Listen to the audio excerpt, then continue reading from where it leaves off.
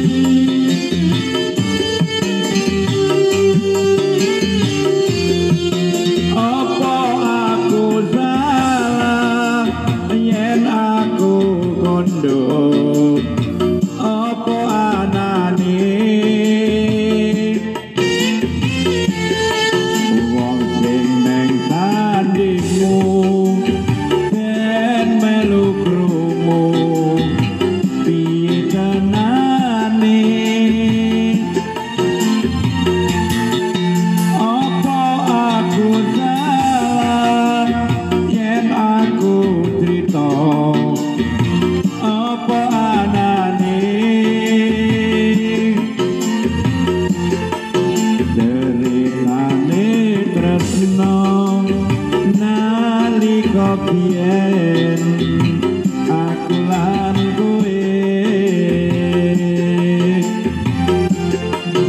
Geripane tresno nalika biyen aku lan kowe. Terima kasih yang tak terhingga